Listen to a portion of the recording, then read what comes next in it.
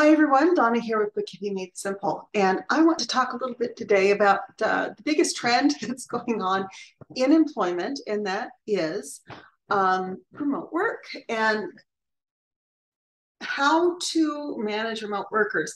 Um, not just how to manage them, but whether you should bring them in back into the office, whether a hybrid um, work is going to be better. Um, there's a lot of things, a lot of moving pieces that we didn't have to deal with before. So before I really get started on this, um, if you like the show, please like, share, and subscribe. We are on Spotify, um, Google Podcasts, we're on YouTube, we're on Amazon. Um, I just set all of these feeds up. Um, so there's a lot um, a lot of places you can find this podcast. If you enjoy this, please like, share, and subscribe. My goal here is to help business owners make good decisions for their business. And that is really what accounting is all about. But today we're going to talk about remote work. And the reason I want to talk about that is I've been working remotely for over 20 years now. Um, I've been working remotely really since 90, no, not quite 97, 99. Um, certainly by 2000, I was working from home full time. Um, by 2003, I was really seeking a lot of ways of working from home, and that was when it was considered new. Now, um, I grew up in a home where my parents owned their own business, so the idea of owning my own business is not new to me. Um, my parents owned a pest control business in Seattle, and mom ran the office, and dad would go out and do the calls. And uh, I look at this today where we have internet and we have instant messaging and text messaging and cell phones, and I go, I do not know how mom and dad did that before, you know, because Seattle was a crowded city then, and it's even more crowded today. And so I do not know how they did that in a day before cell phones, but they did, and they did a great job. Um, but that's how I grew up. I I came home from grade school and my mom was home. She wasn't always, you know, available. You know, she was busy. Um, she had a lot of kids. Um, and then she, you know, the, the business was run from a, literally a spare bedroom in the house um, so that she could be home. Her goal was to be home with her kids, but still have a, a job, a career, a way of earning money. Um, and she went from that to when we moved to Kentucky, she became a school bus driver. So again, so she could be home with kids during the day, and then she was only out when she was transporting kids anyway. Um, so it worked really well for her. Um, I could not be a school bus driver. Kudos to my mom and my sister Debbie that they're able to do that. Um, it's not something that I could do. I uh, uh, I remember, however, first of all, watching my parents start and grow this business again from a basement, you know, from one of the bedrooms. Um, we had a second phone line because, again, this was pre internet days. Nobody had a second phone line except unless you were really rich and you had an extra line for your kids. Um, but we had a second line that was the business line, had its own phone number, had its own phone. We weren't allowed to touch it or use that phone for anything. Mom was the queen of that phone.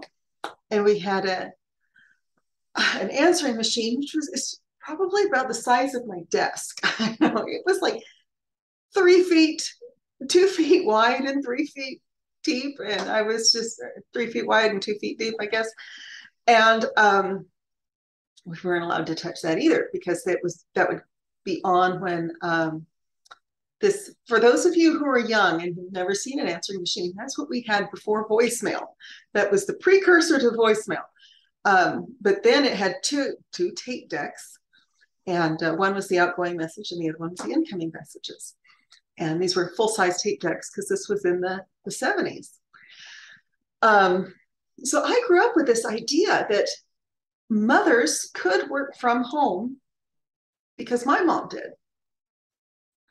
And then I remember walking into a Radio Shack and seeing a modem and this was about the time War Games came out, the movie War Games. Um, and it was, you know, the old fashioned phones that were had the round microphone and speakers. Um, this modem had round spots on the top for you to put your handset to your phone on it. Again, we don't have those kind of phones anymore.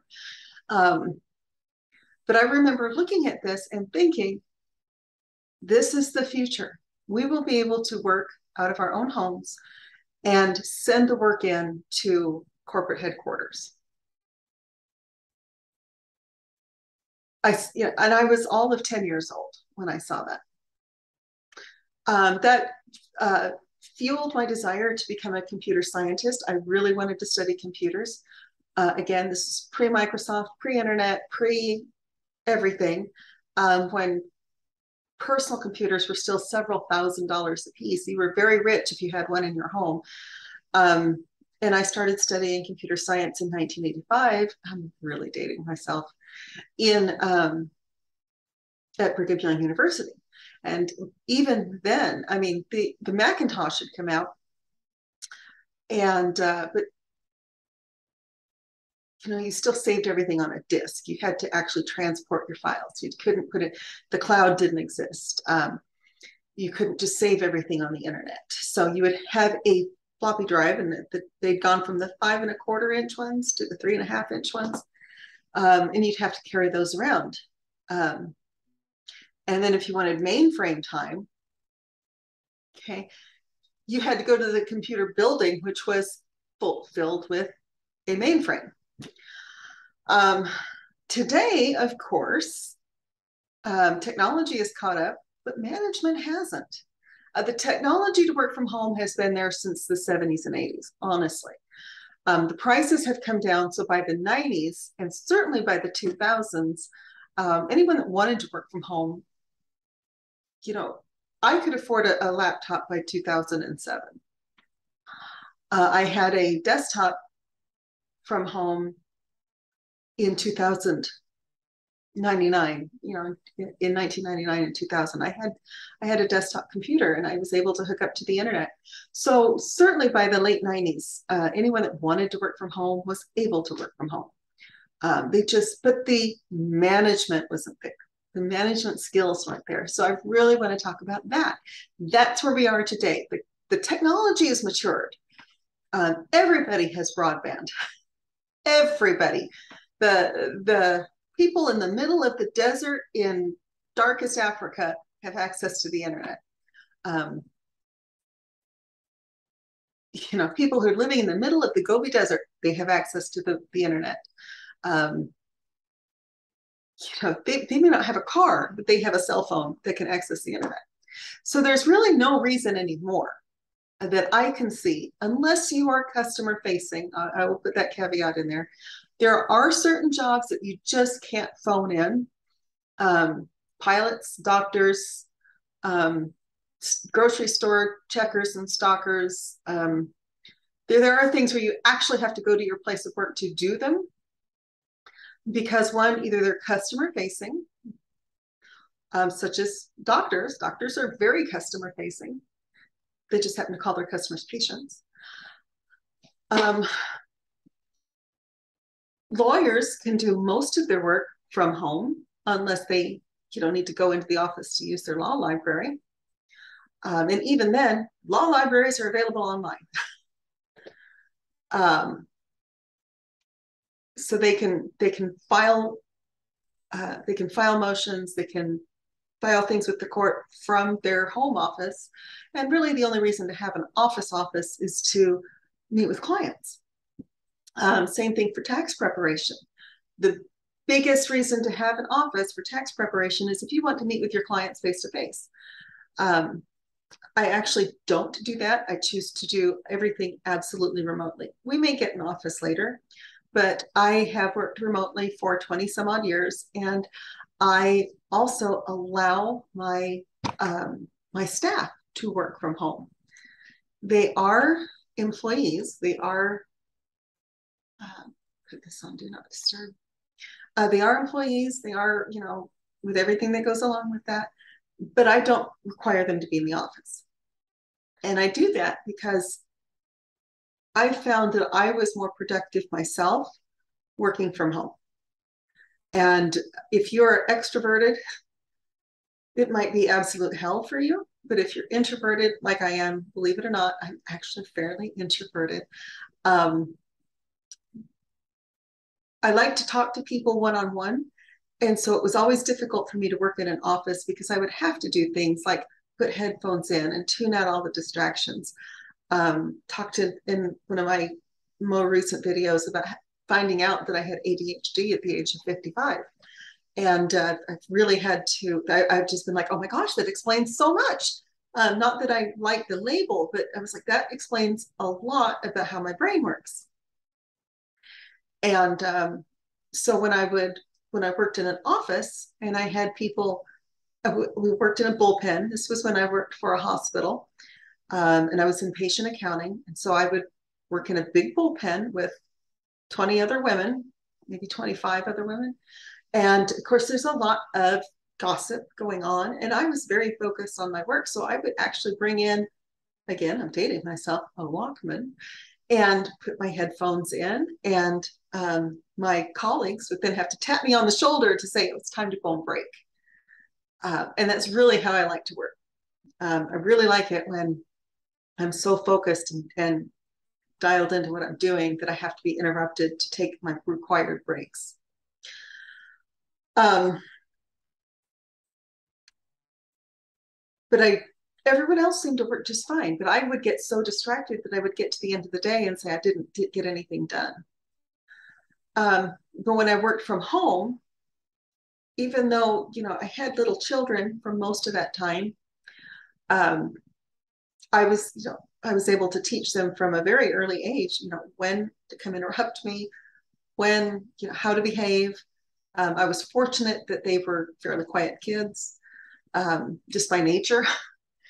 Um, so I was able to work from home and be there for my kids and still be able to not have the distractions of having 25 other people around me all trying to get my attention at once. For me, that becomes very overwhelming. And I'm working on dealing with that. Um, kind of as a side note, by the way, I really hate it when CEOs and highly successful entrepreneurs talk like they have known how to do this their whole lives and it's just so easy and you just you just do the thing. And i'm you know if i'm neurodivergent which evidently i am i don't you know there's no real firm test on that but if i'm neurodivergent if i have a different way of approaching things for example i'm not an early morning person at all I would rather go to bed at five in the morning than get up at five in the morning. Um, and I've never been a lark, but all the CEOs say, "Oh yeah, you have to get up at five. and I go, "Do I know? I have a list of things I have to do for the day. As long as I get to the end of the day and those things are done, it doesn't matter if I end my day at two in the morning or if I end my day at eight in the evening." Um, I have my my power list that I try to work through, and that's it. Um, and today that list is actually quite short. I have like two things I have to do, but they're big projects. Um,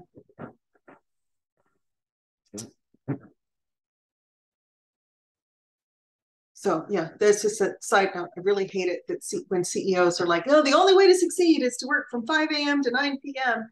And I'm like, some of us have obligations that and responsibilities that overlap those times, and especially the women. Um, we have to learn how to really be efficient with our time because we don't have as much time. And that is not out of laziness. it's because, uh, especially when when my kids were little, I was the one that took them to the doctor. I was the one that that made sure that they were getting their schoolwork done. I happened to homeschool them, the two younger ones. Um, I was the one that was there to support my older daughter. I was the one that, you know, I was like, I have all these other things I have to do. And if you can find me a male CEO who can do everything in a day or a week or a lifetime that I have done, I'll be impressed. or a uh, another woman with children who's done everything that I've done. Um, I've noticed that the really highly successful women that achieve what the world wants them to achieve are childless. I have five kids, um, which is not a dig on them. It's just simply when you don't have kids, you can focus on your work. And when you do have kids, especially if you're the mother, you have to focus on your kids because you have this little bitty tiny window of time. Believe it or not, it's a teeny, teeny, tiny window when they're going to depend on you and then they're going to grow up. And so the, the key is to love and appreciate them while they're little because before you know it, they're going to be uh, leaving the nest. And I laugh and say the days were so long and the years were so short. Um, anyway, back to the remote work thing. um, welcome to my ADHD.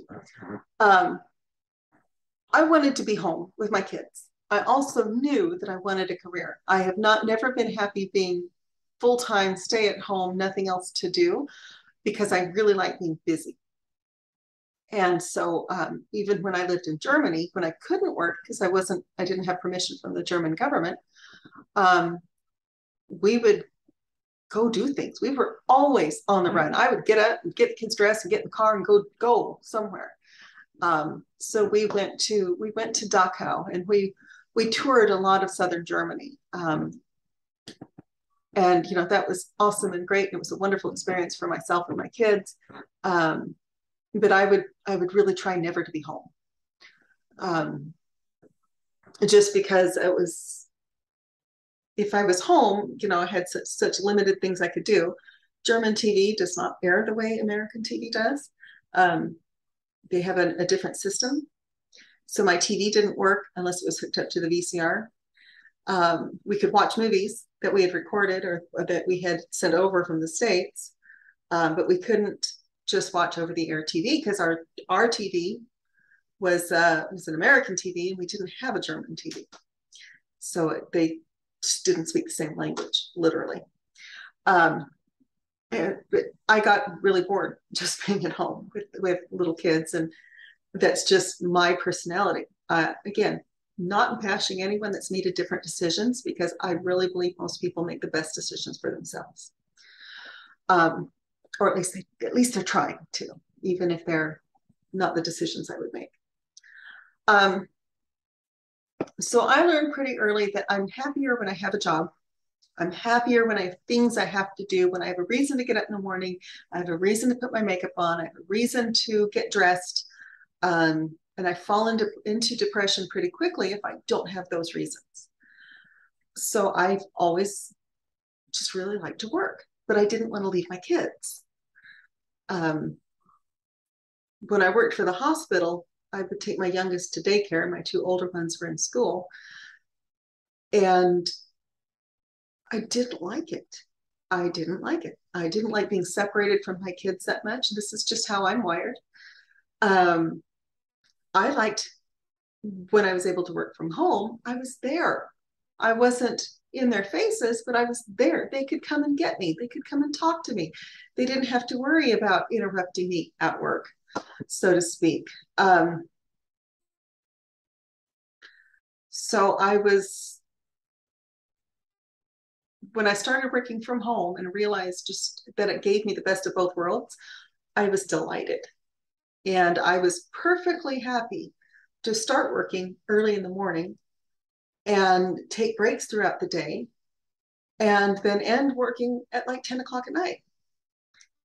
When I would go to bed, I just loved it. I loved work and I loved to bring value to people.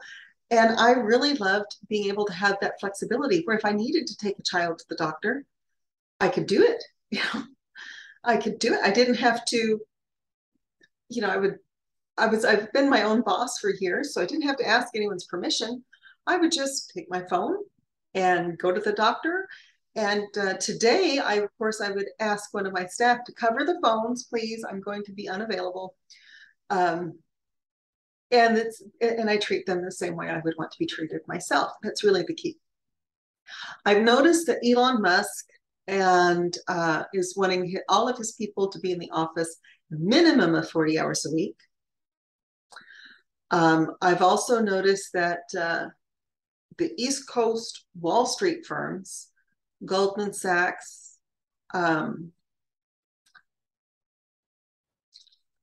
JP Morgan Chase, um, all of the East Coast banking, banking and finance firms are really pushing to have their people back in the office. Their reasoning for that is that if you are a junior member of the team, if you're young and starting your career, you need to be with someone who's older and more mature and knows the ropes and can teach you. And you could that and they seem to think this can only happen in the office because out of sight, out of mind. Um, and I really think that's their management style is out of sight, out of mind. Now, mine is fairly what they call laissez-faire. I am hands off. Um, I just go through and I check and just make sure that the clients have been worked on and that they look right. Um, I hire people who are qualified, who are have some experience. They may not have all of the experience that I might want, but a lot of these are starting their careers. Um, and then I make, my, make, make myself available. The other thing that I do is I have a weekly staff meeting. It is mandatory. Uh, that is the only thing that I have done that is mandatory. You will be at this meeting, or you will have to tell me why you weren't there. I mean, ahead of time. And if you just miss it just because you missed it, we will have to have a very intense conversation. That is the one thing that I have that's mandatory.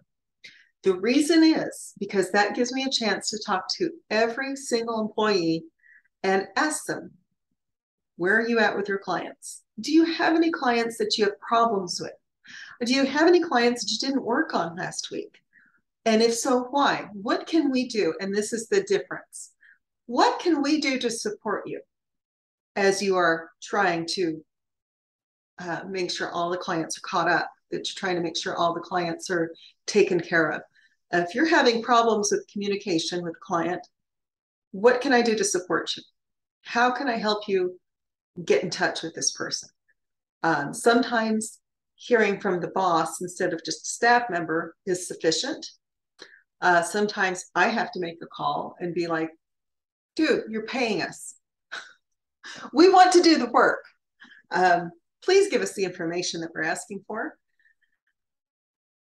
Um, so I do go back and I do check their work. That is what our, our Monday morning staff meeting is for. I go back through, I check the work before the meeting, and then I make a list of the clients that I see, and it's usually just a random sample. I don't go through every single client every single week, but I take a sample and I start looking at, you know, for this staff member, her, um, I start asking questions. Basically, I start asking, what clients do you feel like you are having problems with? um, what clients do you think you know what what challenges are you seeing? And then the rest of the week i'm available on teams and by phone. And um, there's a couple of things i'm trying to do. One is i'm trying to find the leaders um, the, the ones that will step up and figure things out without taking a ton of time i'm also looking for you know who's understanding the reasoning behind my decisions um, versus who is just pushing back without without understanding or without they're asking the wrong questions so to speak. Um, i'm looking for someone who steps up and shows leadership potential because that's the person that i'm going to promote to be a manager as the team grows because i want to promote internally but i am not looking to see did you spend 40 hours sitting in front of your computer this week. What I'm paying them for, I pay them by the hour, but what I'm paying them for is results. So if they if they say they work 40 hours a week, but I'm not seeing 40 hours a week worth of work, again, that's I do go through them. I do double check. I do look to see. I do review the timesheets. You know, I do a lot of administrative type work to make sure that my employees are doing the work that they say that they're doing and that they are being reasonable in the time that they're spending on each client. And then I also start talking to them about the difference between value added work and just busy work. There's a world of difference. I want them to spend their time on the value added work. Busy work you can do in little gaps here and there through the day. If you're attaching receipts to QuickBooks, that's not mission critical. Uh, we have clients that like us to do that. It's not mission critical. We have all the receipts. They're in they're in our our um, filing system, our online files, OneDrive or SharePoint. We have them. So, um, so I will say, you know, you don't have to worry about attaching receipts. If you have 20 minutes of downtime while you're waiting for a meeting with a client, um, yeah, go ahead and spend that 20 minutes, but don't spend hours doing that because it's not a value add. Um, so that's one of the things that I do to manage them. I give them enough free rein that they can figure things out. I also give them unlimited access to me so that um, I can train them. I record all my trainings so that I can upload them and I have those trainings all set um, for just about anything that comes up. Because if I record every question that's asked of me, um, pretty soon I have a pretty solid training program. Um, and then a lot of it is I trust them to do the work. I double check it, but I also trust, I, I don't have to see them. And I don't have to see them because I have an appointment with them every Monday. And I talk to them, each of them individually about their work. And then I talk to them individually during the week. I do not allow it to be out of sight, out of mind. I can't afford for it to be out of sight, out of mind. I don't have trillions of dollars that I'm controlling. Um, wish I did. I don't have billions or millions of dollars that I'm controlling. Um, so I need the girls, I need my staff to step up and do the work. I need to be able to just check in with them once in a while. But I don't need to micromanage everything that they do. If I needed to do that, I would fire them all and I would just do the work myself. And that's not what I'm after here.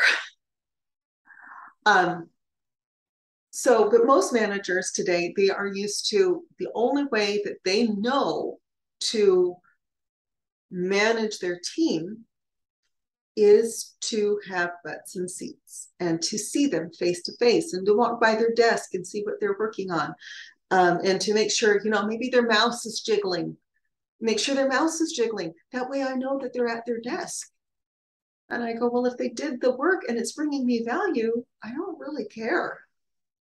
If if they're doing the work and i'm getting the cash flow and my business is doing well and they're doing enough work to cover their payroll plus some um,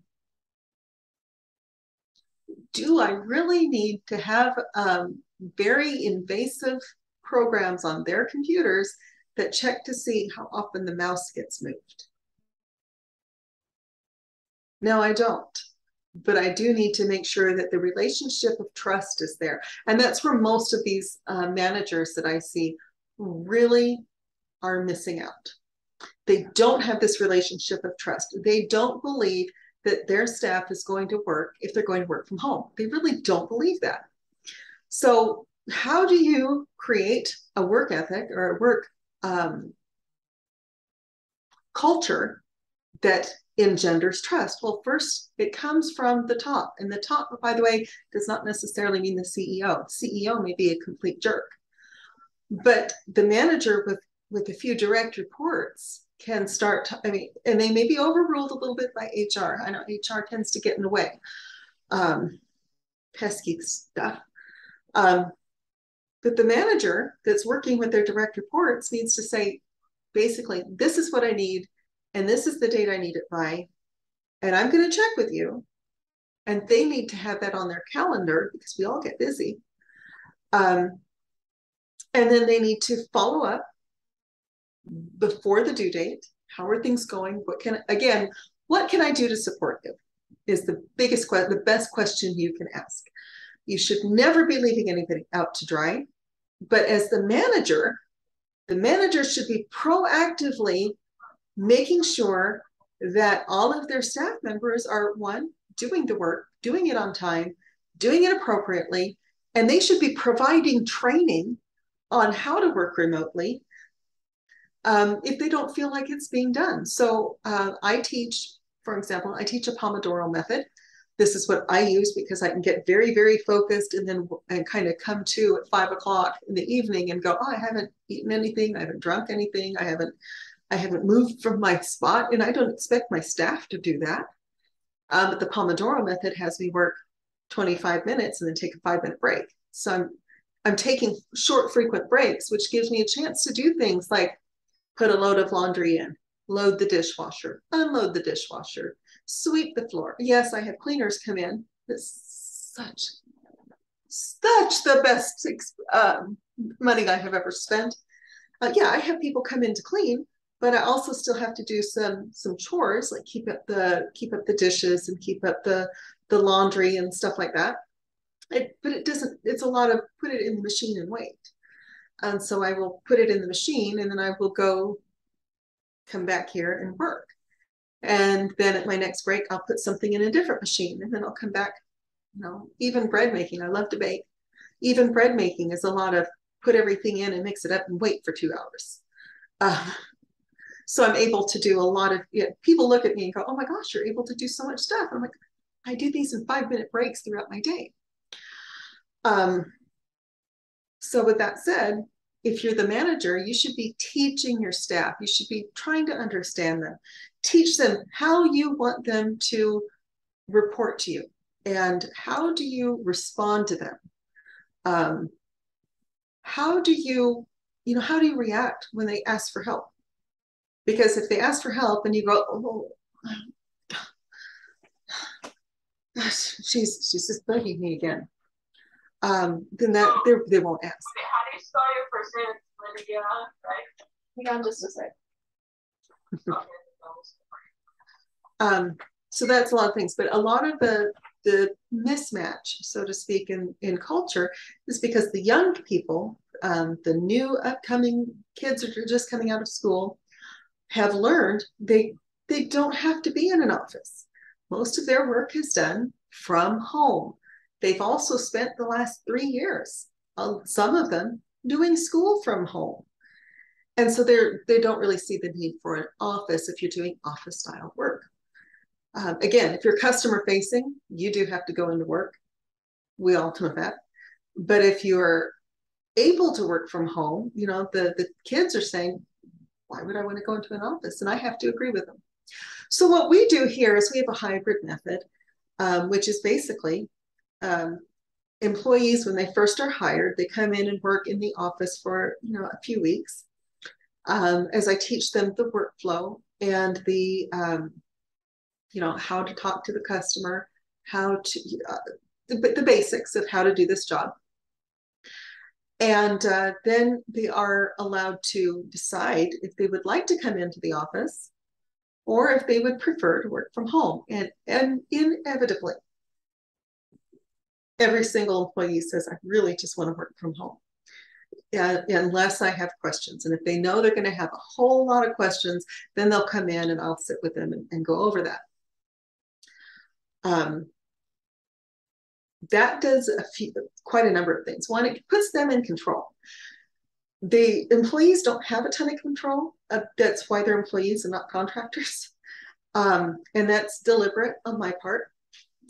Um, but they have a control over where their workspace is.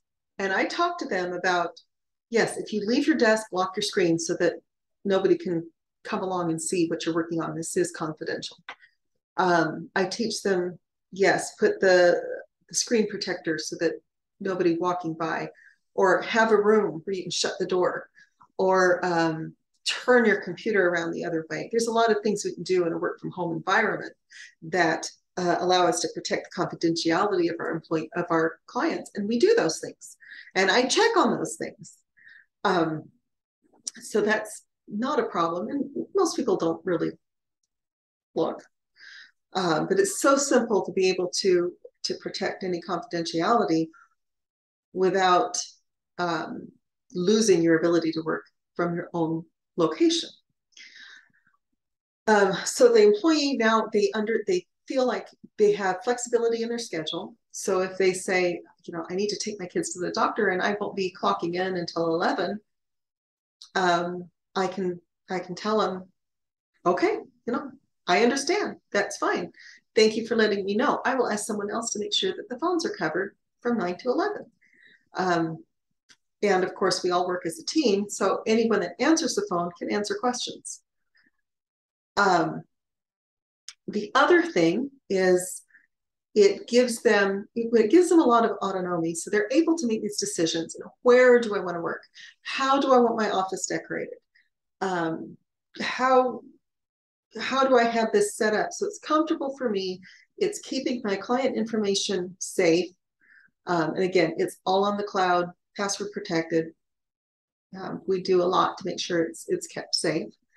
Um, and then how do i you know then if if you have little kids at home and your kid wants to sit in your lap while you're working, honestly, unless you're on camera, that's really not a problem. Um, I don't know how they do it. I couldn't do it when I was, my kids were little, but if you're able to, you know, if you just need to cuddle your kids for a few minutes, it's not a problem. And I'm not going to make it a problem. So a lot of the um, a lot of the issues, I think, with work, remote work, and the reason it's not working for a lot of companies has very little to do with the work being done. It has a great deal of, of to do with um, it has a great deal to do with whether or not the managers are able to manage remote workers. And most of them haven't been taught. They didn't the ones that are my age and older uh, didn't grow up in that. They didn't. They've never worked from home. They or they're men and they don't want to be at home. They want to be in an office where it's quiet. And women are are you know we have so much that we're trying to do that it's kind of restful to be for us to be at home. By and large, I'm not trying to stereotype anyone. Um, so there's there's a lot of things. You've got personalities. You've got um, most accountants, by the way, are very introverted. That's why they went into accounting. Um, and most um, most salesmen are very extroverted. That's why they're in sales. They, you, you choose the career that works for your personality, right? Um, my, my husband is a salesman, and he is uh, very much an extrovert. He loves talking to people. He loves talking to people on the phone. He loves speaking from the stage. He loves, uh, he's never met a stranger in his life. He's met some very strange people, but they were never strangers to him. He knows how to relate to everybody. Um, I am probably ambiverted, which means I can I can be in, introverted when I need to be and extroverted when I need to be. I'm able to. I'm probably more on the extrovert side. Um, and then a lot of my staff are very introverted. They can talk to people on the phone, but they don't like to pick up the phone. Um, it's something we've been doing a lot of training on. They don't like to pick up the phone. It's the way they're wired. That's why they're good accountants, by the way. um, so you have to you have to understand the personalities. The hybrid work method is the one that I think allows the people that are most comfortable working from home to work from home. Those that are most comfortable being in an office get to be in an office. But the managers have to be the ones to make sure that the remote workers are not overlooked, which they should have been doing in the office anyway. Um, walking around the bullpen to see if your staff is working is so inefficient, uh, believe it or not. Um, I could and I did when I worked for the hospital. Um, I would I would get really tired, you know, because I had so much going on in my life, and so I would literally learn to sit like this and look like I was really studying my screen, and I would have my hand on my mouse and move my mouse, and I'd fall asleep. Um, didn't happen very often, but I I I've known from high school how to look busy when I'm not busy. Um, I've know I knew how to do that in high school. I knew how to do that in college. I still know how to do that, and we all do. we all know how to appear to be busy. We all know to put the right screen up when the boss is walking by. Um, bosses, you are not fooling anyone if you are just doing the walk around and see if they're working method. But because we have our in-depth staff meeting, at least you know once a week and then i meet with the employees separately frequently throughout the week. Nobody gets overlooked. Um, so i'm able to keep track of what's going on and keep track of how the employees are feeling and how they're doing and checking to see if the work is getting done on time. Um, and because they they can't fool me because i'm checking their work um, they can't fool me so i'm able to actually get keep a better tabs on what's going on than i really think i would if they were in an office because um, the old fashioned way of managing just doesn't work anymore so you need as a business owner and a manager, you have got to have to change your management style to suit the current environment. We're not going back to the office ever.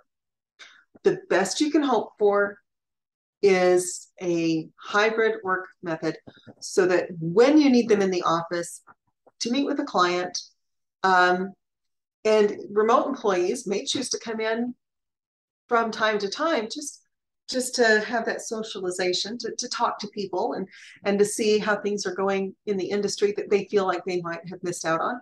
Um, they may choose to do that but the manager has to make sure that they have a list of their direct reports and they're following up on them that's their job their job is to manage the workers um, and that's what they get paid for so i feel like a lot of the managers got kind of lazy in the you know in pre-internet because that was the way we'd always done things. And they've never learned how to manage remote teams in the current environment where everybody's working from home.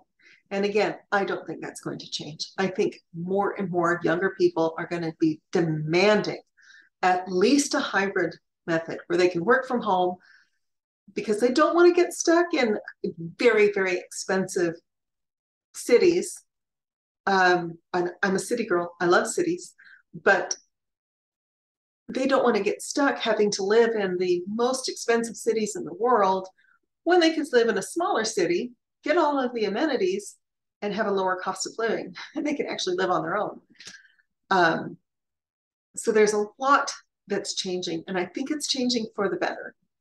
Um, certainly for the work environment, um, if you want women to stay in the workforce, keep in mind that they are going to want to work from home, at least when their kids are little.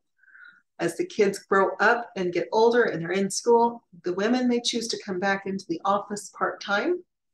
But if you want full time workers and you want them to be women and you think the woman a woman can do a good job, um, you're going to have to have to start being way more flexible with with hours, with time, with punctuality, and with location. So that is my rant for the day. Um, again, if you enjoyed this show, please like, share, and subscribe. Um, I'm looking forward to hearing from you. Uh, if you have a subject for an upcoming podcast or show, please comment below. I do check the comments. Um, and I will talk to you again soon.